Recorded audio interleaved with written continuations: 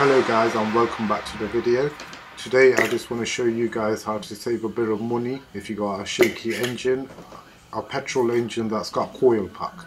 So if you get a shake like how this engine's shaking, first thing you need to do is obviously put it on an OBD port. You get them the £10 one that anyone would do. You just want to see which cylinder is missing.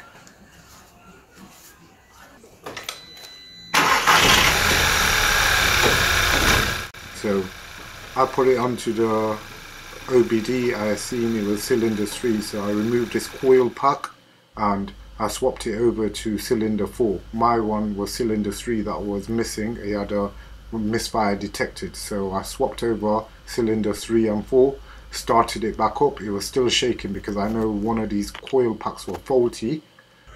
So that was cylinder 3 so what I did, I swapped over cylinder 4 coil pack and put it into cylinder 3 and cylinder 4. So now the fault showing on cylinder 4. So we know that this coil pack's the problem. So we're going to swap this out.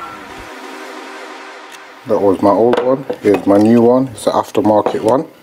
If I wasn't in such a rush, I'd just take that part number off the top there and just buy off eBay. Where that cost me five pounds this one cost me 20 pound. And put it in and see what happens. So after I started it up I went and refreshed it. And after I refresh it, refreshed it it moved from cylinder C to D.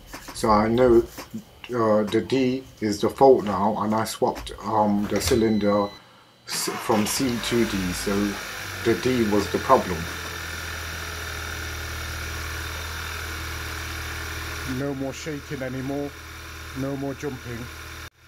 So that's the issue guys. So if you got a faulty shaky engine don't panic. Put it under OBD reader and see which coil pack it is. Swap it over before you even spend a penny.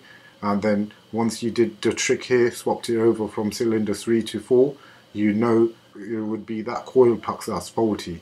So to save a bit of money just take the part number off the top put it into eBay and buy it and put it in and be happy. Thank you guys for watching my video. Please like and subscribe and see you again.